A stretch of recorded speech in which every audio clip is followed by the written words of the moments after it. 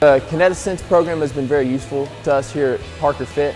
Uh, it allows you to really break down someone's movement and uh, even if they have very small imbalances that are difficult to see with the eye, you're able to take that video and, and it analyzes it and, and helps you see their movement better.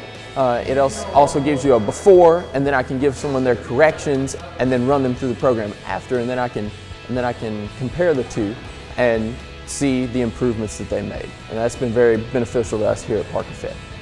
As far as KinetiSense, I personally love it. I think it is great for athletes to, um, to be able to assess themselves, to progress on their lifts. You could see your lifts during different segments of the lift. Um, that is great, what every athlete loves. And aside from that, when I become a chiropractic doctor, I would love to use it on my patients for everyday assessments, um, just everyday movements in general. I think everybody would love it.